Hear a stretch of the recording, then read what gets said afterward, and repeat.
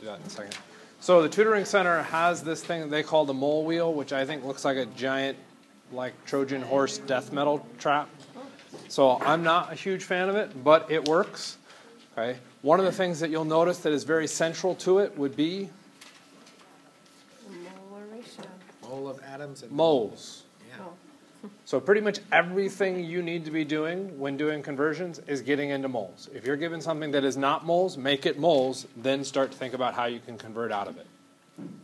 Okay? So be aware of that. If you want to go to the tutoring center and grab that, you can. Uh, that is up to you.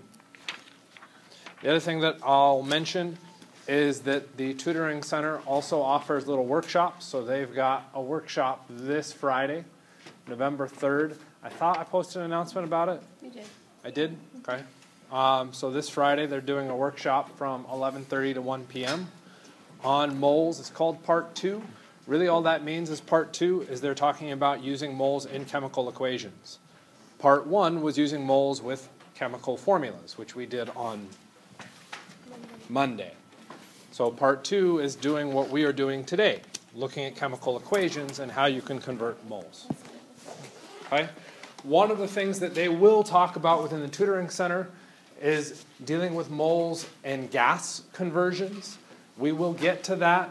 Uh, you probably read about that already. Uh, we'll talk about it probably next week. I am very anti that mole to gas conversion. We'll deal with that or cross that bridge when we get there.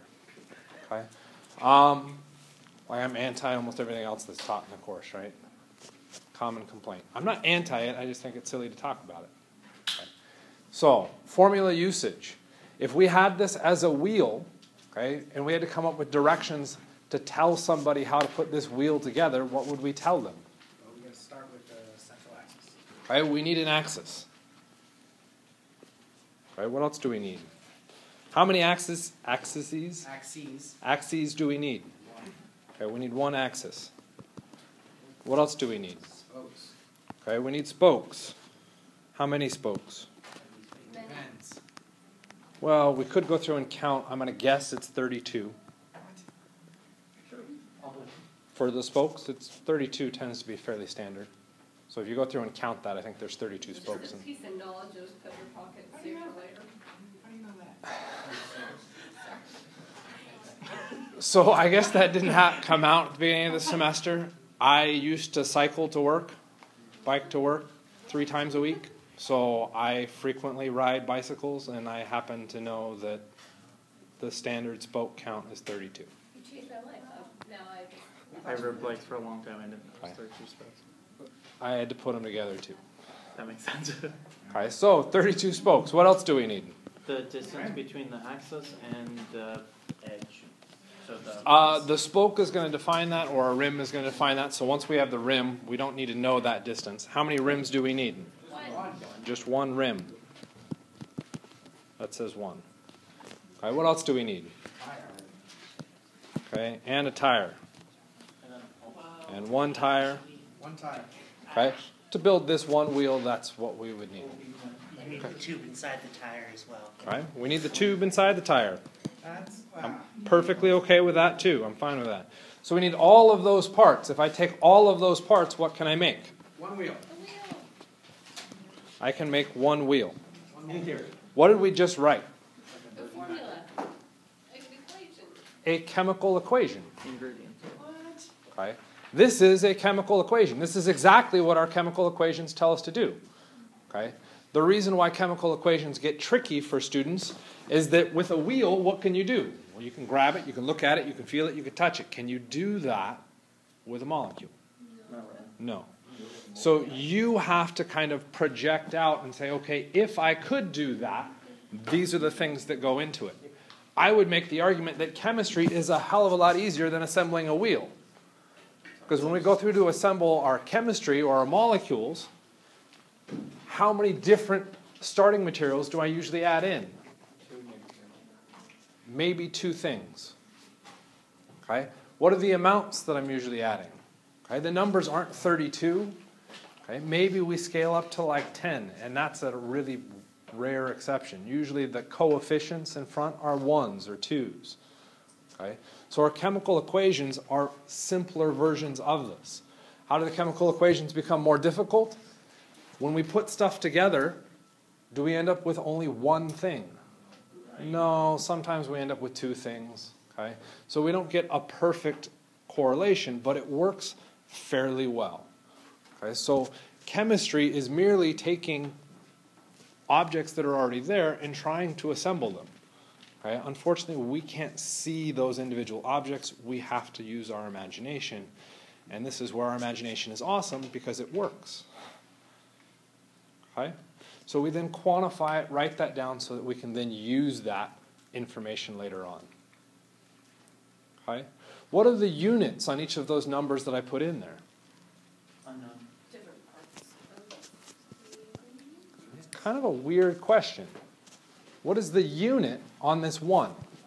wheel. Wheel is the substance. Yeah, it's also a unit. Theoretically, yes. Okay? In chemistry, what is our unit? Some sort of measurement. A mass. Okay? In a chemical equation, do we use mass? No. What is our unit in a chemical equation? Do we need a chemical equation? Yes, we would put chemical equation. H2O. H2 plus O2 to make H2O. If we balance that, 2 and 2, now we have our chemical equation balanced out. Okay? To go through and put this together, so we still get some pieces on, well, how did this actually work? Okay, well, let's apply this back to our system. I don't understand. H2, okay, well, that's confusing. When you buy spokes, do they come in packs of 32 or do they come in packs of, I don't know, 120? Packs of thirty-two. You tell me, I don't They're probably coming in packs of 120. Because if we had to individually wrap 32, that's all happening at the distributor. They have to put in a whole bunch more parts or packaging behind the system. When you get your Amazon box, you bought like a candle, and they send you a five by five foot box for a two inch candle. Like, what the hell were you doing, Amazon? That didn't make any sense. Okay? We don't want that extra packaging. We want to minimize it. So if we look at bringing in the spokes, more than likely, I'm getting a whole lot more than 32 spokes from the distributor. But I have to separate out of that packaging that 32. What's happening with the chemical formula? H2 is what our distributor is doing. Right? I then have to manipulate that information. How much do I have to take from that distributor, that packaging, and divide that out to make my final product? It's the same process. Right? So, what is our unit? Back to our question what is the unit over here? The measurement is 2. The substance is H2O. What is the unit? A molecule. What is the unit for a wheel? Wheel. Okay, we keep saying a single wheel. What is a molecule? It's a substance. We're being more particular with that substance. What could we use as our unit for wheels? Okay. We could use something like molecule. It doesn't make sense because molecule is chemistry. Okay. We could say this is one part, which is a wheel.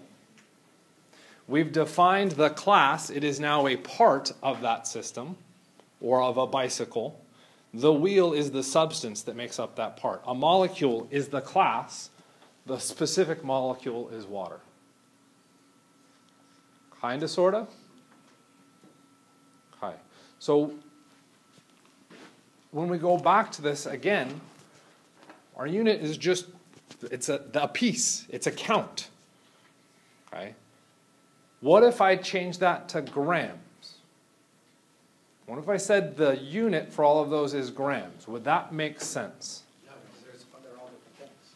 Okay? If I take one gram axis, 32 grams of spokes, one gram of rims, one gram of tires, and one gram of tubes, and I smash that all together, am I going to end up with one gram of anything? No, no. No. What does the chemical equation not tell you about? Mass. What it tells you is the number of pieces that go into it. Well, what does the chemical equation tell you?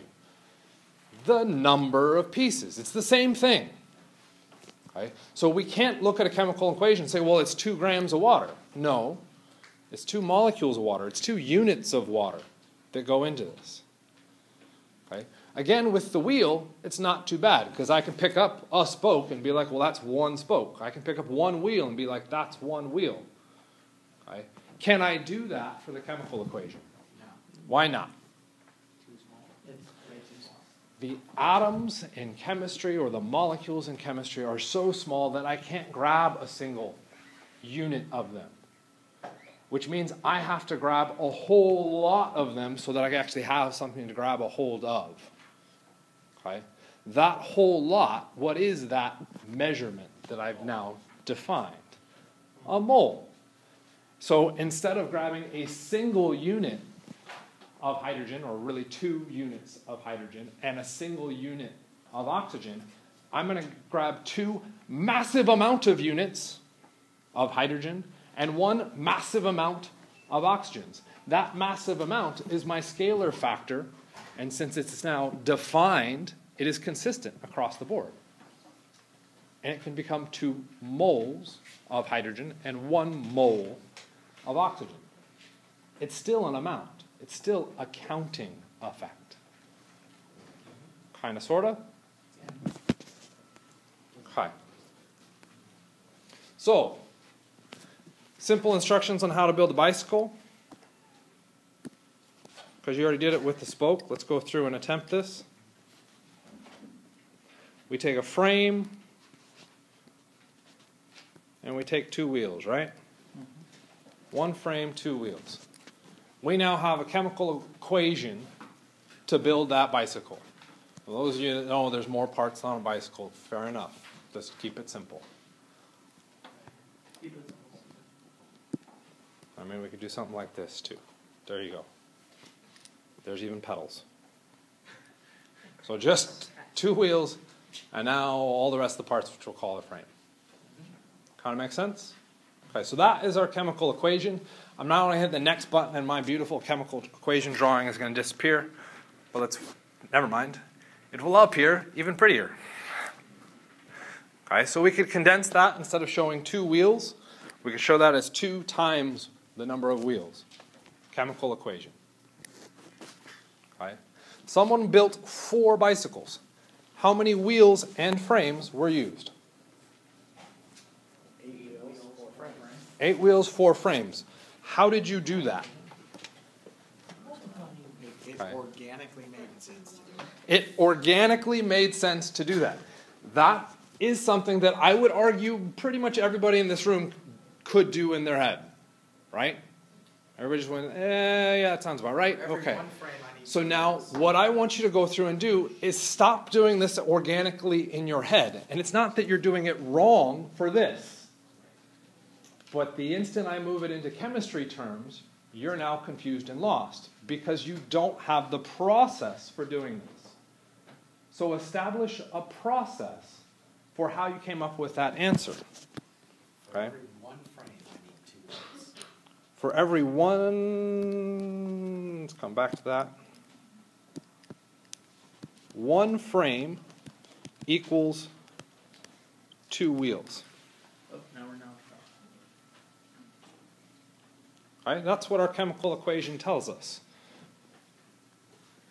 Okay? Did we use that to actually solve this? Really? I started with four bikes. What was I trying to figure out?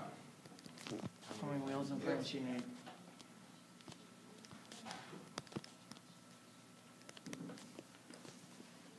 What did you do? Ten. Made a conversion. I mean, I guess you could put it this way, I set the products to four bikes and then I balanced everything else. Okay, so we hit, heard another option, set the product to being four bikes. Work backwards. Okay, that's fine. Then what were you given? Well, you, you were given that two wheels and one frame equals one bike. So So how many? I did not say that. That has not been written down yet. So you're now adding some more information. And I agree, you're right, but that wasn't said. One frame equals two wheels, which equals One bike. one bike.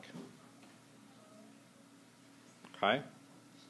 So we added more information here. That's still information that was buried in the chemical equation. I'm not saying that wasn't valid, it just never was written down. I want to again use that information to set up this conversion. Right? You saying you got four bikes. What did you do? What did you start with to get four bikes? That's, that's in the question. Yeah. It's not The really question the says question. how many wheels and frames were used. Someone built four bikes, so we have that. Okay? So, what are you doing with that? You're- Okay? Because you went through and said that it required four frames and eight wheels. Where did those numbers come from? Your scary brain. Your scary brain, that's what I'm saying. Give me a process. Walk me through how you did that calculation. Every, every, like right there, what you have, one frame. Nothing up there says anything about eight wheels or four bikes or four One frames. bike One frame equals plus two two wheels. wheels One- equals one bike. So one frame equals two wheels equals one bike. Not, none of that says eight. None of that says four. Right, So we're gonna have to Isn't that your conversion one- factor? Is that a conversion factor? Sort of. It's an expression that I can get a conversion factor from, which again, you have done. You've internalized. Stop internalizing. Formalize it. So what's it look like? That's what I'm asking you to tell me. Use them as units. Set this up. Use it with units how? Which expression do you want to use? We've got two expressions started up there. We've got red and we have purple. Well, if we do the, if we do the purple line. So let's pause for a second. You told me the answer was eight wheels, yes? Yes, You told me the answer was four frames, yes? Where up there do I have any work to say that is the answer? You haven't given me any information to prove that. I don't understand. Explain it to me. Uh, convert it just like what we were doing with moles, so. Times, What is convert? Times what? Yes, getting at the right idea. So times under one bike, or BK, whatever you wanna use. So you cancel out the bike, and then you add in, uh, one frame on the top.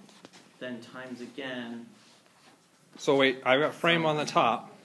or, What's the number with frame? uh, one frame, One frame. What's the number with bike? uh, one. One bike. Do same with wheels, but two wheels, one bike. So times and then do bike Two- again down here and, and wheels up here. Mhm. Cause now you, s- now you still have bike on the bottom. I was gonna say, we have. I have bikes showing up on the bottom again. Okay, that's what I want to hear. I want to hear this. Oh, well, something's going wrong. Yes, that's the exact issue. You've internalized and done two separate calculations and gave me the answer as one answer. You did two things. But you've jammed those two things into one system and you aren't separating that information out. Because you aren't separating that information out, you can't solve. You can't explain to me how you did it. so I did it. That's awesome if I'm going to continue to talk about bikes and frames. Except this is a chemistry class and I'm not going to continue to talk about bikes and frames. You need to trust your method to be able to get to a correct answer for something that you do have tangible results for. So that when we move to things where we don't have that tangible result, you can rely on the method. Okay? So I like where you're going with this. Okay? We needed that information. But if we did that, our unit systems don't work. Okay? We said we did two calculations. do it in one. Okay? One frame plus two wheels over one bike. How many answers are being asked for? Two, Two, which means we have two conversions. two conversions. Uh, What were you trying to do? Make it one. Do two conversions in one thing. We can't do that in this case because those conversions run counter to each other. Come on, eraser. Okay? So, what happens if we just do that conversion? What do I get? The number of frames. the bike unit becomes converted into frames.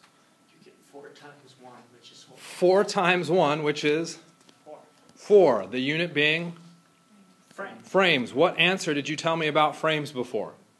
Four frames. Four frames. What did we just show? Four frames. Yeah? There it is. There's work to say four frames. Does that work say anything about the number of wheels? No. No. So maybe we should think about wheels.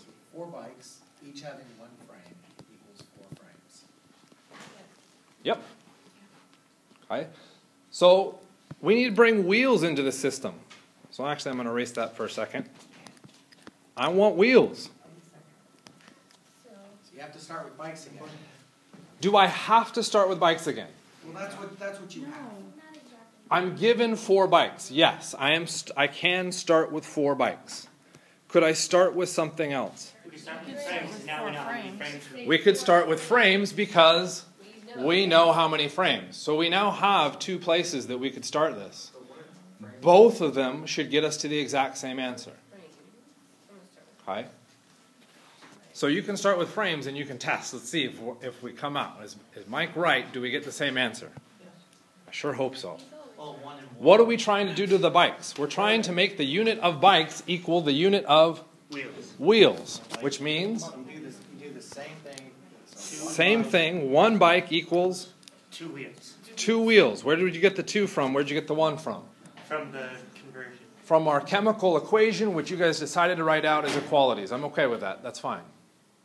How- Well, hold on. Okay. did- what should it look like? That extra equality step is, to me, by default written in the equation. You decided that you wanted it written out as an equality, that's fine. You're just being extra specific in your equalities. That information is in the chemical Okay, equation. that- Well, as an equality, it's wrong. What part of that is wrong? One frame is not equal to two wheels, does not equal one, but no. Because they- Uh, So I see where you're going with that. One frame leads to or is composed, Right, needs so- two wheels so to make one bike. You need, Yeah. you need the pluses and minuses. So those are not, Correct. What, uh, I don't even know what symbol to put in there. Who's a mathematician? Oh, okay, I'll accept a plus. That totally made sense. One frame plus two wheels equals one bike. You mean two next to the symbol of a wheel, next to the symbol of a frame, arrow equals one bike? Oh, yeah, this is that expression. They are one and the same. One decided to show pictures, the other one decided to show words. Which is easier for you to do? Uh, Words have meaning, pictures are It's up to you. interpretive. Okay? Pictures could be interpretive. Okay? If Picasso drew that bicycle, Um, I'm not very good with uh, Picasso, but maybe Picasso says something like this let's see a- with his bicycle. Okay, and you're like, what the heck is that? Fire Okay. triangle. That's actually a So- good interpretation. It's not too bad. yeah. Okay? So pictures could carry different interpretations behind them. But if we translate our pictures into words, Yeah. we can simplify that and make only one meaning. Okay? Words could be a lot to write out. So what could we do instead? Acronym symbols. We could come up with symbols. You mean like how we have the word for fluorine and we've converted that into the symbol of F? Yes, exactly like that. That's why we do chemistry. It's the same thing. What happens with our bottom system here, where we've now converted bikes into wheels and we would end up with eight wheels? So the answer that you guys all did in your head, I've now shown work for. Notice that work for it shows how the units get converted through. And now you get eight points on the test. Okay? And now you get full credit if that was an exam question. That work you are awesome at when it's stuff you know. You don't know chemistry. That's why you're taking this class. Okay? So you need to have that formalized, written out process. That's what we're doing with our dimensional analysis. Kind of, sort of? Still doesn't explain how H two O turns into two H two O. Uh, we can, t- and yeah, that's an entirely different system on what you just said. Oh, no. So, given six wheels and three frames, how many bikes can you make? More conversions. More conversions. Geez, Mike, aren't you tired of this yet? No. No, I'm not, because you're still getting it wrong. When you get it right a couple times, then. So, I'm, I'm guessing you're not flashing gang symbols at me and you're trying to tell me an answer here? Dang it. Right? I was hearing three bikes. So if I take six wheels, wheels into bikes, what was my conversion? Two wheels, one bike. The units of wheels cancels, I'd be left with units of bikes. Mathematically, that is 6 times 1 divided by 2, which is 3 bikes. Awesome. Okay? But we also said 3 frames. You're like, well, Mike, I, I can do this work in my head. I'm fully aware that when we do this, that all says frames, that's going to get 3 bikes. Right? You did that in your head, you're like, that was stupid, Mike, don't write that out. What? Right? Everybody see at least the interpretation. Picasso wrote that. Right? Words are just symbols. Two wheels, how many bikes can be made? Ooh, this is fun. I got two different answers. I heard one and I heard No, I said none. none. Someone did say one. Oh, really? I didn't read it all the way. Okay? Why are we getting two different answers? Because we didn't read the question. There's more beyond that. Because we said two wheels equals one bike. We said two wheels equals one bike. No, we said two wheels plus But now one it needs a frame. Can you have half a bike? Okay, let's go back to what we had written up. Uh, what was the But it still rule needs a frame. for? Wheels, wheels, bike,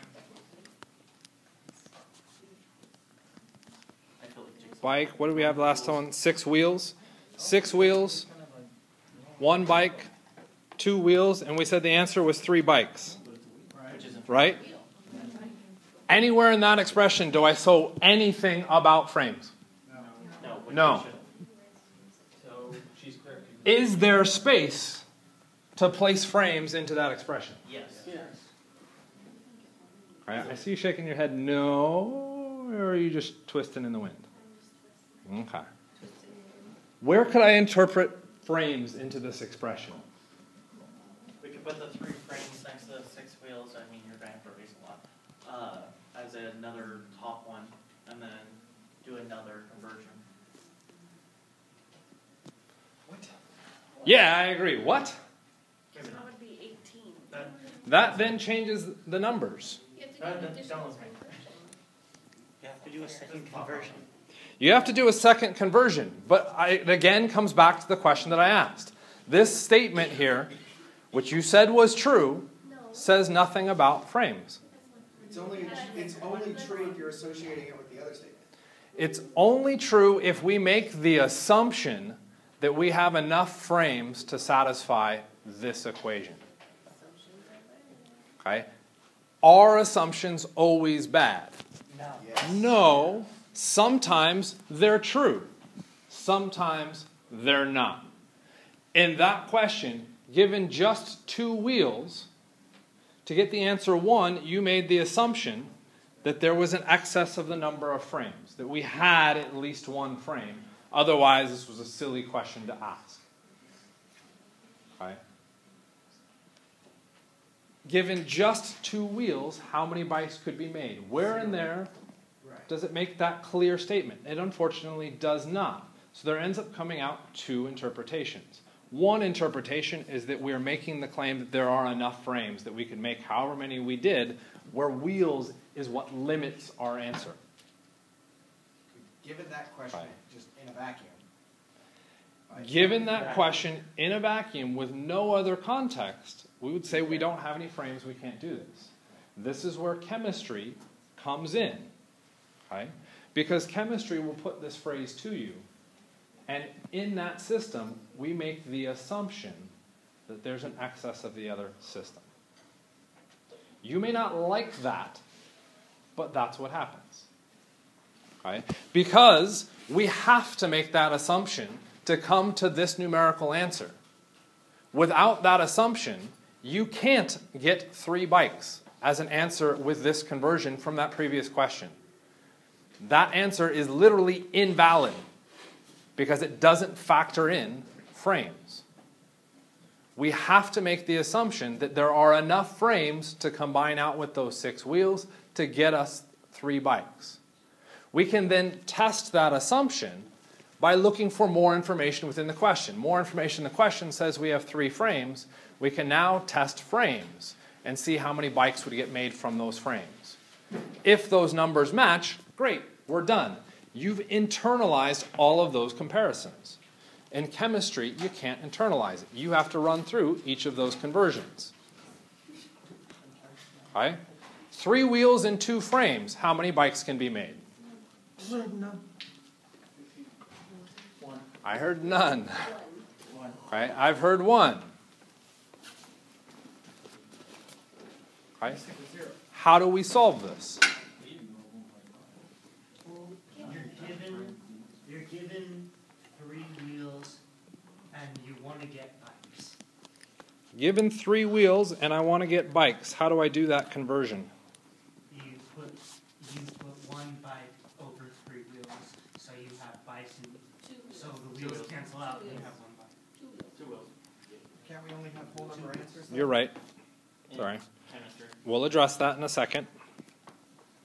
Some dude did that, hold on, what's his name? 1.5. Are you okay with the decimal? Can I write it as 1.5 bikes? Fulton?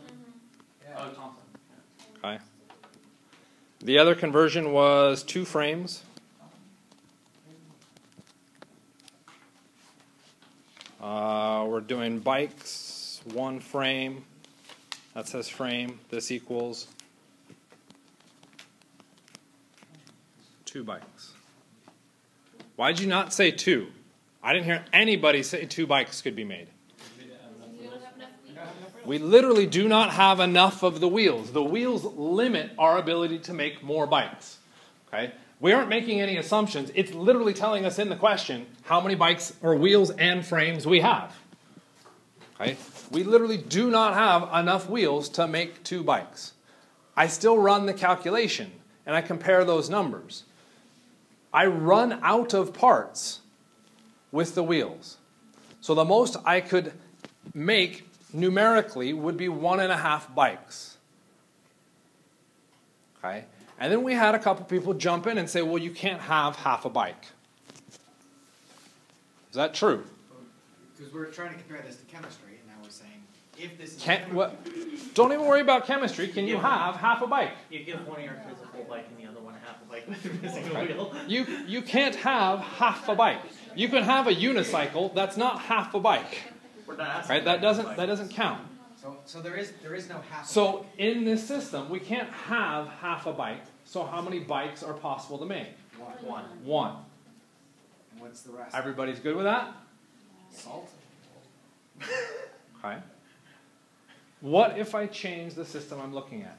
That's not three wheels, that's 3,000 wheels and 2,000 frames. It gets, gets the you get to the same thing. I get to the same thing. Does everybody agree with that statement? Do I get to the same thing? You end up with the same problem. Yeah, just the Same same ratio. problem. You I would end up with, somebody said it up here, I would end up with what? Not if it's 1,000. One of your children are half my average. One, you'd end up with one thousand point five.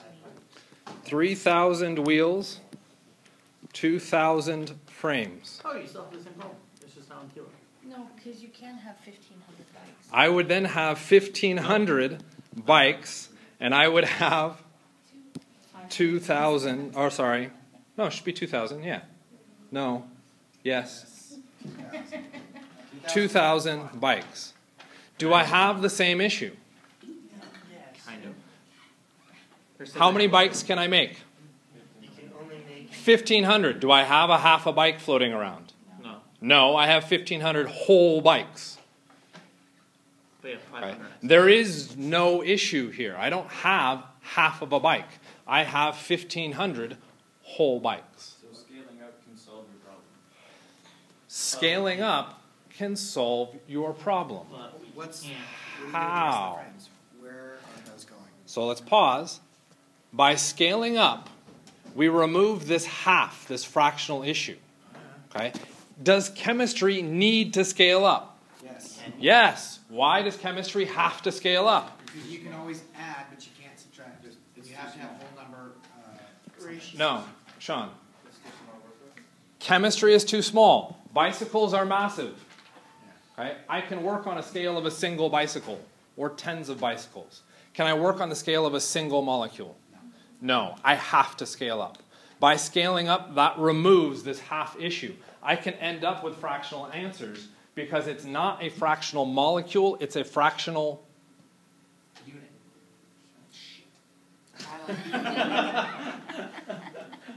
begins with an M. Mole.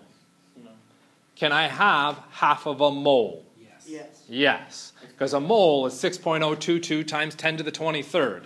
Half of that is 3 point something times 10 to the 23rd. I can have half of a mole. So chemistry can scale up. I'm allowed to get fractional answers. That's fair game. I can't do that with large objects because with a single object, I can't get fractional systems. So this is the advantage behind the mole.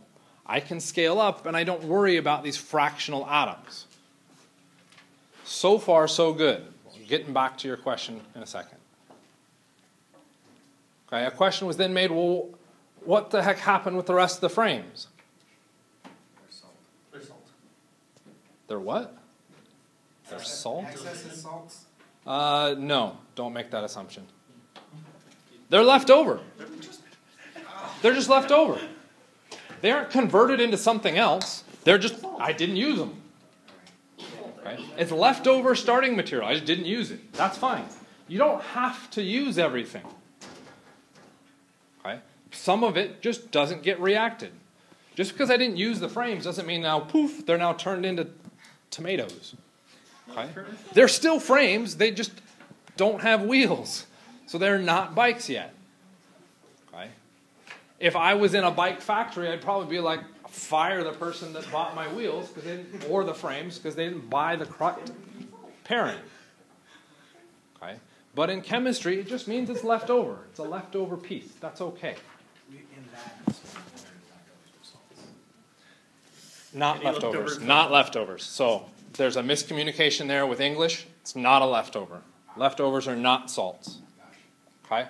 So let's move to the next part of this before we've beaten or flogged our whatever those things are, bicycles to death. Given 40 grams of wheels and 15 pounds of frames, how many bikes can be made? Whoa, we need a whole new conversion. What? No. How do I do that? I can't possibly do that. We don't have the conversion. How many grams of wheels equals one wheel?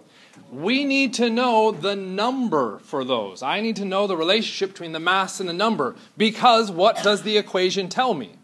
How many? The number of those pieces, not the mass.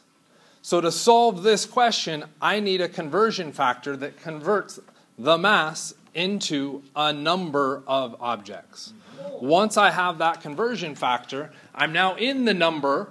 I can now use the chemical equation to convert from one species to another species, or one substance to another. Chemistry has the same issue. Just because we move to a chemical reaction doesn't mean the chemical reaction now deals with mass. It doesn't. It's the same thing as, a, as building a bicycle. Okay? It's the number of atoms. Okay? So that deep breath may have just been for me. Just for me? Okay, so you guys are like, this is, this is stupid easy, so we're not even going to worry about it, right? We move to equations. Oh boy. When we move to a chemical equation, we now get a whole bunch of conversion factors. The same conversion factors that come out of the chemical equation or the equation for making a bicycle. It's the same concept. Okay? Not ish, it's the same concept. Period. Okay? NO. If I take two molecules of NO, how many molecules of O2 are necessary to react? One. That's what the chemical equation tells me. Okay? If I had two molecules of NO and some large excess of oxygen, how much NO2 could I make? Two molecules. The oxygen becomes irrelevant to the question because it's there in such a large amount that it doesn't determine the reaction. Right? So I could use units of molecules. What if I moved up to 2,000 molecules? Okay? How do I know it's now a 1,000 molecules of O2? What did I do to do that, get that system set up? Use your conversion factors of two molecules to one molecule. Two molecules of NO was one molecule of O2. Your unit rate stays the same. My unit conversion system still stays the same. I'm just applying it in a new system. Okay? Then it went up to a 1,000. Okay? The next one, 12.04 times 10 to the 23rd. Okay, well, to convert that into O2, it's still the same process. I'm still using that very first conversion factor that I had established molecules and molecules. Okay? 10 to the 23rd, that sounds kind of familiar. That sounds kind of like Avogadro's number.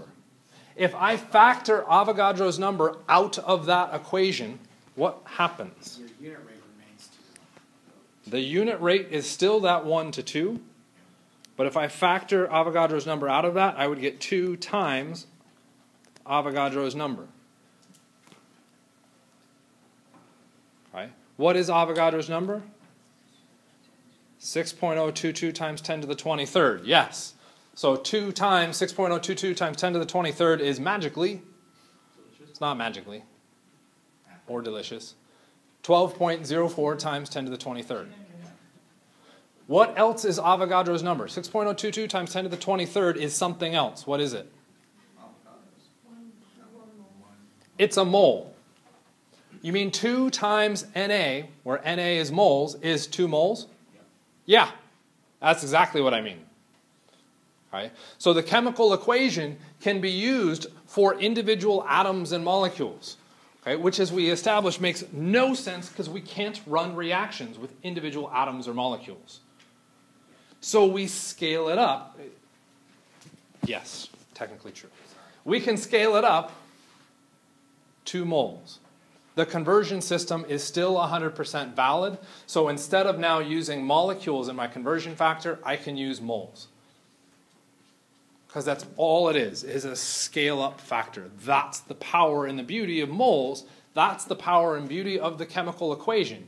Because I now have a way to convert substances in that chemical equation. I can convert from nitrogen oxide to nitrogen dioxide if I'm given the chemical equation. Okay? That's the beauty of that system. Okay? If you're having problems processing what that means, talk to me after class and I will work my best to find a chemical equation that matches a real world system that you can then scale and compare to. Okay? This one gets close, but not quite. What's UV stand for? UV just means ultraviolet, meaning to get this reaction to run, we have to use an extra piece. We have to use light to get this to go. Yes? So when you scale up, are you always gonna scale up like, um, like thousands or what is it? What are we going to scale up by? That's an interesting question. Because I could scale up by thousands if I wanted, Or ten. or tens, or hundred thousands. What am I going to scale up by? Moles. Because moles are going to scale up to a measurable amount. That was the whole point of moles. That's what we talked about in the previous on previous day, Monday, was that we're trying to just get that up to a measurable mass. Once we're at that measurable mass, we're cool. The mole value or that mole amount is what sets that system up for us. So when we scale, we're either looking at the atomic level, which is really bad, Yeah, or moles. yeah, I'm just like, I'm We don't look at the intervals. Okay? So all of those intervals are just saying what happens. Okay? The top one, t- molecules. If I made those thousands of molecules, we're just using the conversion factors established in that top line to convert it into a new system or that thousand base.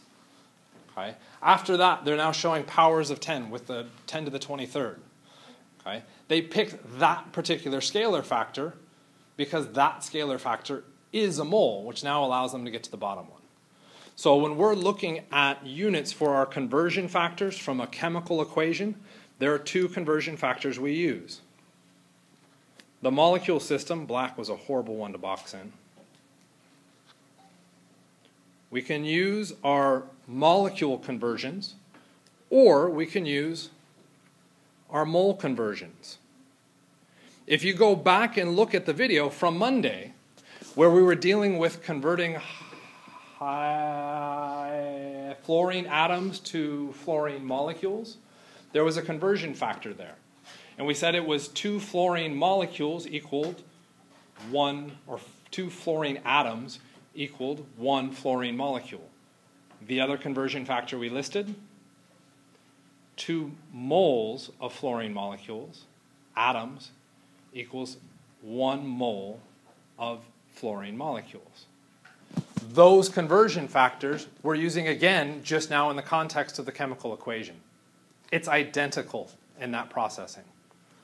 Okay? Moles is just a scalar factor upwards. Okay? It's a beautiful thing for that reason. I'm going to take another deep breath. Multiple. Mole mole relationships.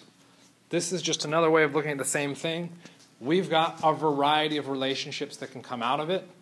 We tend to default to mole relationships and not molecules because moles are the amount of atoms that we need to work with to have a measurable mass. Okay? So we don't tend to use molecules, we tend to use moles. All of those expressions come from the proper balanced chemical equation. Okay? Anybody have any questions about those conversions? Okay, maybe you'll regret that. How many moles of CO2 are necessary to make one mole of sodium hydrogen carbonate? Okay, so if we look at our question, we've got a couple things going on with this. Okay, so the first thing I'm going to do is do this. Okay, and we'll talk about why in a second. Step with all conversions, every question we do. What do you need to do? Right what you want to get. What do we want? One mole of sodium. Sodium hydrogen carbonate. I want one mole of sodium hydrogen carbonate. What was I No, given? we want how many?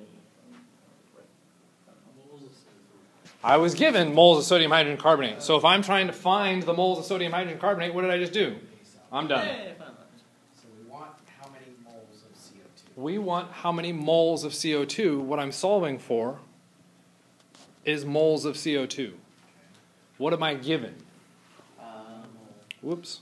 One mole of sodium hydrogen carbonate. Oh, I said CO2, so I can write CO2. Okay, I was given one mole.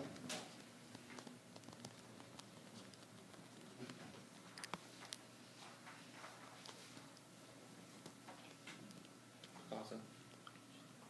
Close enough. Anybody writing that being like, I don't want to write sodium hydrogen carbonate. That's annoying. Yep. Yeah, why, why would that be annoying?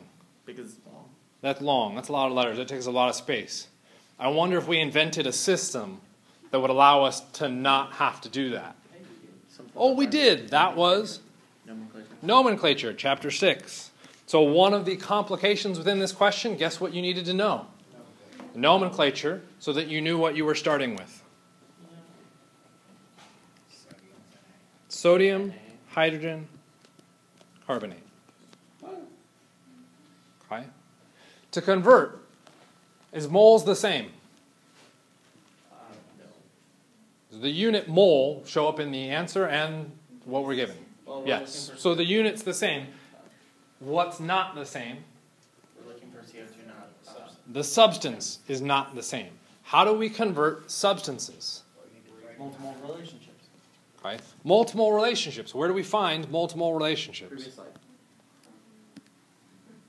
What's that? The front page of the ACV. No. Previous slide. No. Um, Mike told us very nicely. In the what? In the chemical equation or the chemical formula. Okay? Chemical formula was chapter 8. Given F2, how many F's were present?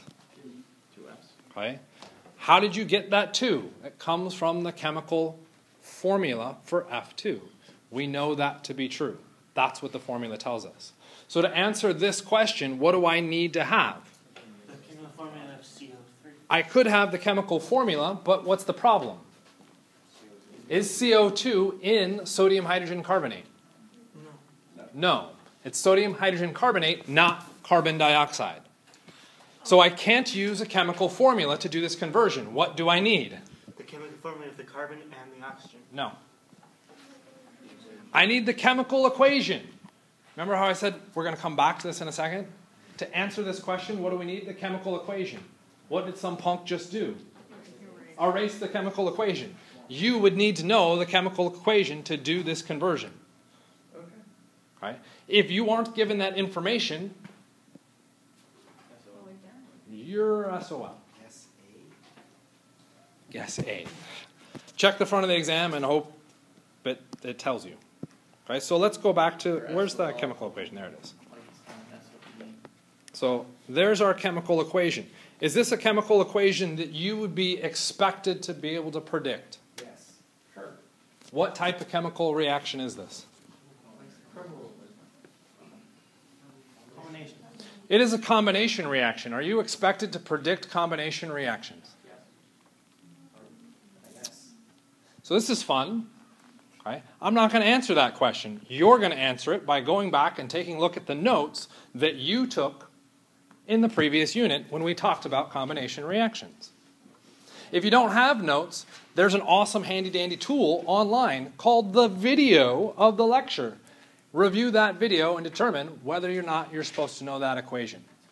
That is neither here nor there for the sake of this question. We are given the chemical equation. How do we solve this? We have to make sure our equation is balanced. Is it balanced? We don't know. Let's find out. Okay? Because it's possible that you have some kind of a jerk for an instructor that didn't give you a balanced chemical equation. No. Right? No. You would never have someone like that. I wonder if this kind of sarcasm makes it into the video. I don't know. How many sodiums are on the left hand side of the equation?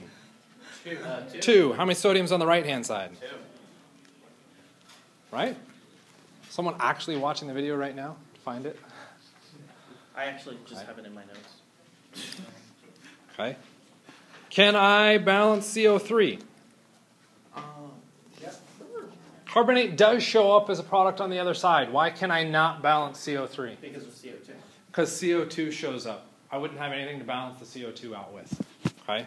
So I cannot balance, whoops, the complex ion CO3. Okay? Should I start with carbon? Probably not best to start balancing with carbon. Why? Have two carbons. Because oxygen. Slower. Why not, hold on, why not? Carbon shows up twice on the reactant side. Carbon could be a difficult one to balance because it shows up in two different locations. That doesn't mean it is difficult, it could be. Right? So oxygen is absolutely almost always the almost always the last one you should do because oxygen typically shows up in lots of different locations. Carbon is showing up in lots of different locations too. So both of them are difficult here, so we should skip both carbon and oxygen and move straight to Hydrogen. hydrogen. How many hydrogens on the left hand side of the equation? Two. Hydrogens on the right hand side. One. Oh, two. Forgot the two. Happens. Okay? Now we're kind of stuck. We have to deal with carbon or oxygen. I would argue we should deal with carbon first because oxygen shows up in more places. So, Two carbon. carbons on the left, Two carbons on the left and two on the right. two on the right. Oxygens, Six on the left, six on the left. There's two, three, plus another three. We've got six, and on the right, Six. six. Oh, look, six. Oh, look at that. Your instructor wasn't a complete dick after all.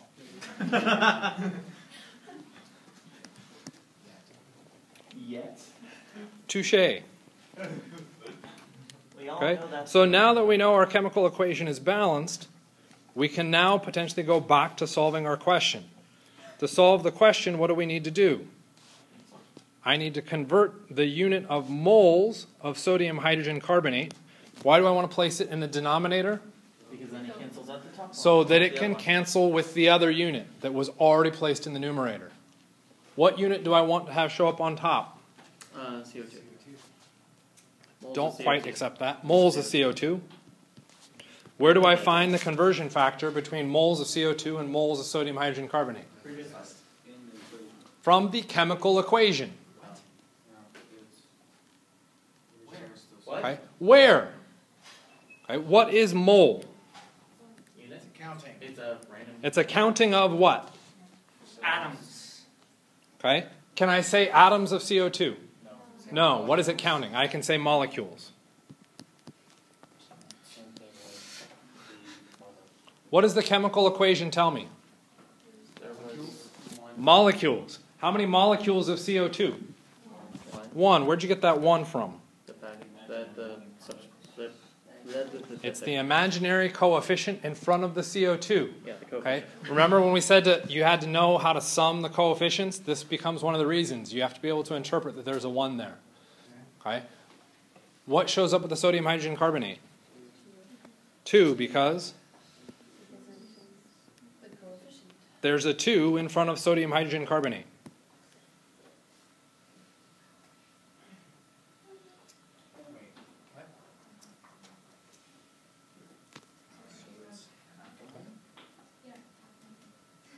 So if we run our calculation, what do we get? Half a mole. Oh my god, a fractional value. I can't have fractional values. Those are horrible. So it turns to zero. What is a mole? Counting. Oh, it's a large number of It is a massive number 6.022 times 10 to the 23rd. Can I have half of 6.022 times 10 to the 23rd molecules? Yes. Absolutely. That is a perfectly fair thing to go through and do. Half a mole is valid. Okay? So, where are we with that? Um, It's solved, okay. So we've got some thumbs up in the back. If you're still having problems with that, finding where those things come from, talk to me after class. Okay, or continue to go through with these. What is the mass in grams of sodium hydrogen carbonate produced when two moles of CO2 are consumed? What? No, you can't do that. Just did. Just turn everything into grams. Assign- Turn everything into grams. Assign the appropriate weights to everything. Okay. So if we follow the patterns that I've gone through and established, is that we want to, right now, we want grams of sodium hydrogen carbonate, and we know the conversion and we're starting with two moles of of CO2. I heard a suggestion convert everything into grams. Okay, so I could convert the ah. moles of CO2 into grams. What's then going to be the problem? It needs to turn into sodium. I need to get whatever carbonate. If I give you 40 grams of frames and 50 pounds of wheels, how many bikes did you make? We have no clue. The mass does not allow me to convert through the chemical equation. What do I need? To change it first. I need the moles. I need the number of them. I'm starting with the number of CO2. So moles of CO2 is not my final answer because grams is wrong and the substance is wrong. How can I convert the substance? Through the chemical equation in units of moles or molecules. I'm in moles, so let's not go to molecules. Let's stick in moles.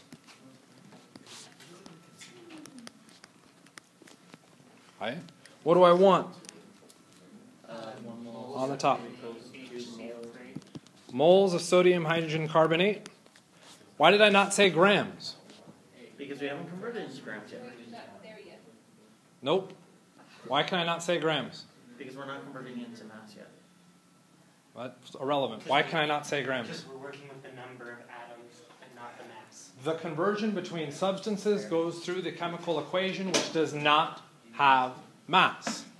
It has units of the number of the species. It's moles, not mass. Okay? What numbers are associated with those units? Two moles of sodium hydrogen carbonate came from one mole of CO2.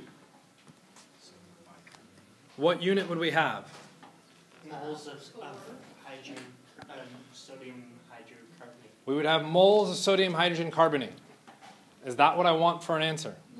No, I want grams. So, moles of sodium hydrogen carbonate, grams of sodium hydrogen carbonate. I wish there was a relationship between the mass and moles. Mass, moles, mass, moles, molar mass, which is found on the periodic table. I would then have to go through and add up the masses of all of the elements found in sodium hydrogen carbonate. Sodium, because we have that stupid lazy instructor again. 23, hydrogen 1, carbon 12, oxygen 16, plus 16, plus 16, because there's three of them. I add that all up, and that magically becomes 70 something?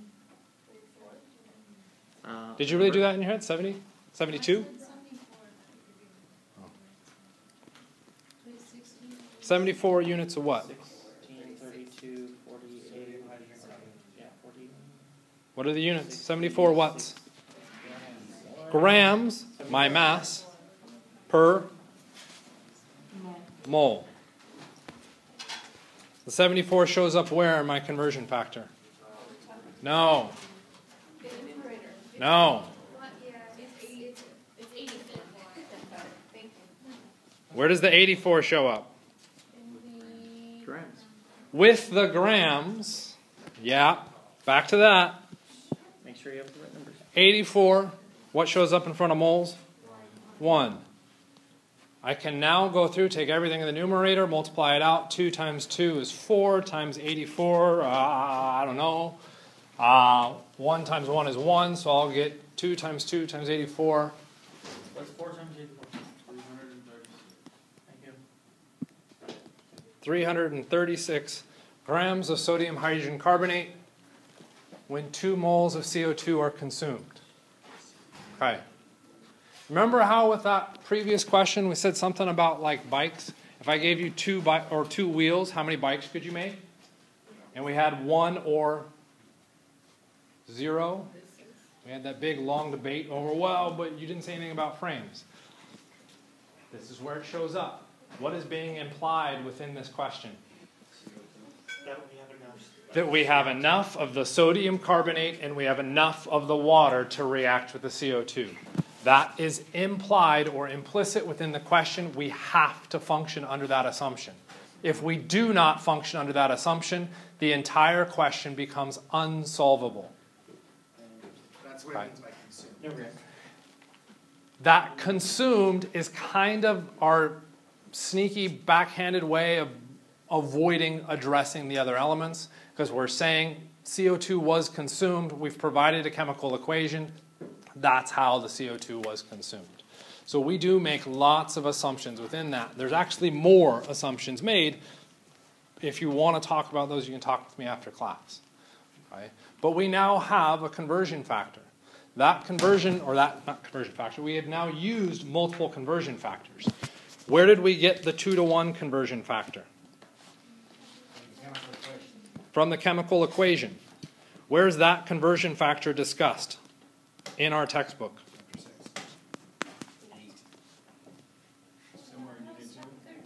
nine, one, two. Chapter 9. Okay. The concept of the chemical equation is addressed in chapter 7. Okay. The conversion factor is addressed in chapter 9. Okay.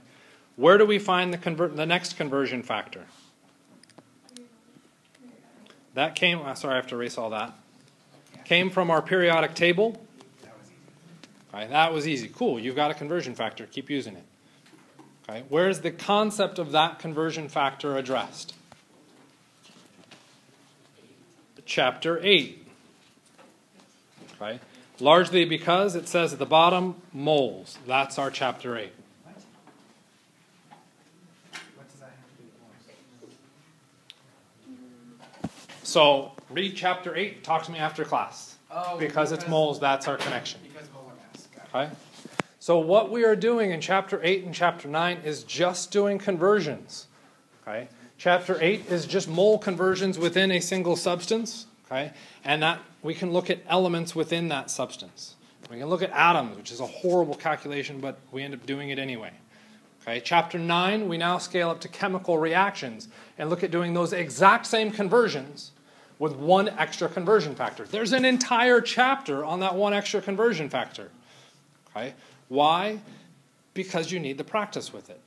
All we're looking at is layering multiple conversion factors in. The more conversion factors we layer in, the more everybody goes, oh my God, I can't do that. You can if you follow dimensional analysis. Because what we end up doing is layering multiple conversions in in one system. It allows us to do this. Okay? That is the power of it. Okay? That's what makes it not new content. And really, both chapter 8 and chapter 9 should really just say, chapter 8, here's your conversion factor, Avogadro's number. Chapter 9 says, we already discussed this conversion factor. It was the chemical equation when we talked about it in chapter 7. Right? That's the end of those chapters. Everything else they're doing is just practice, finding that information, using that information. It gets used by applying it back to your dimensional analysis, trying to establish ways to get your units to change.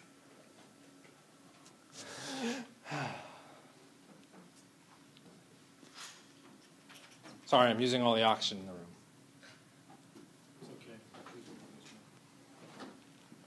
Okay. Really? Another one? Yes.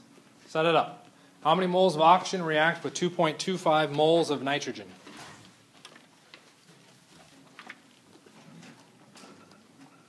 We've got the basics written up there. I want moles of N2 as a unit to be converted into something else. So I'm going to put that on the denominator so that it can be canceled. Put moles of O2 on top. I want moles of O2 on top because I want moles of O2 in my answer. I'm now looking at a conversion factor between substances in units of moles. Moles is just a scalar factor for molecules. Am I allowed to convert the number of one molecule to a number of another molecule? Sure. How? Chemical equation. Through the chemical equation. Am I given one? Yes. Yes. What else has to be true about that chemical equation? And it better be balanced. Is it balanced? Yes, which means Um, we can use it. you can use the coefficients from your equation. This becomes 1 and 1. And I'd get an answer. Two point two five. Moles O2. 2.25 moles of O2. Let's double pack. 2.25 moles of N2. I have a fourth of a mole of N2. I can't have a fourth of a molecule of N2. That's impossible. Sure you can. But it's a mole. It's not a molecule. It's a mole, which was 6.022 times 10 to the 23rd molecules. I can have a fourth of a massive number. That's allowed. Okay? Same thing's going to happen at the end. I can have a fourth of a massive number. That's fair game. Okay? So don't freak out at those fractional notations that, yes, in a math class they would have told you, well, you can't have those fractions. Okay? We can have those fractions because we're looking at a huge number of these. Okay? There's our beautiful work. We did that one. Okay. So, I want to end on this. We'll pick it up with, as a quiz on Monday. This question should look kind of familiar because that looks kind of like what? The CO2 question. It looks like a test question. That's because it did come off the test. That was on exam two. Right? Remember on exam two, even though for, by the way, I figured out what was wrong with the reading. You can ask me about that later. You weren't supposed to know anything about moles, right? There's moles in that, but we hadn't talked about moles. How could you possibly solve that? Right? All of the conversion factors are given to you. You just have to use the information supplied. Right? Uh, one mole of oxygen consumed produces two moles of water. Where's that coming from? A chemical equation, which if you go back and look at your exam two, what was the question immediately before this one? Write the chemical equation for hydrogen plus oxygen to produce water. If you look at the coefficients, if everything was done properly, that's where it came from. That's where I got, because the chemical equation does. We can talk about the chemical equation later. 16 grams of oxygen equals 1 mole of oxygen. What's wrong with that? Uh, Because you're using the wrong units. Nope. Grams and moles. inversion. Uh, Oxygen atom is 16. Right? That is the molar mass. Oxygen as a formula is not 16, it is 32 because oxygen is a diatomic molecule. Right? So all of those conversion factors in parentheses are things that you are responsible for knowing. Your quiz on Monday will become the next level of what you're responsible for that. Everything else is something that you are responsible for already knowing, right, and determining. That's what we'll start Monday with. I'll give you no more than five minutes on Monday to finish it.